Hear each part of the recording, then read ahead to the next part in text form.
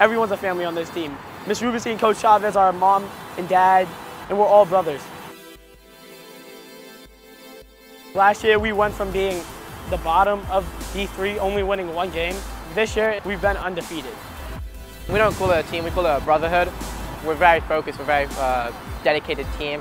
We train three, four times a week. The most rewarding thing for me as a captain of the rugby team has been seeing the progression of the players and helping them get there.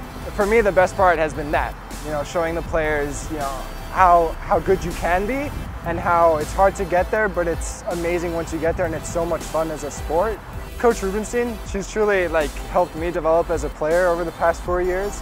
She's not afraid to shut you down, but then she's also there to encourage you when, when you need it and where you need it.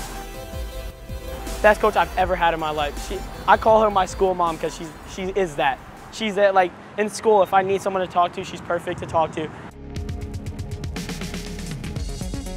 Being a student athlete, of course, that plays hand in hand. Uh, for me, it's always been rugby has been uh, a way to let out any stress or anything that's been bothering me over the week. It's somewhere I can look forward to at the end of the day and know I can get that stress relief. I can get that time to just focus on having fun and playing with my, you know, my buddies.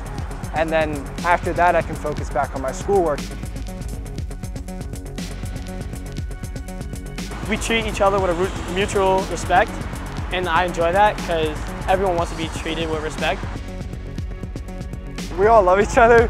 You know, right from the beginning we were friends, and this has only just strengthened that relationship.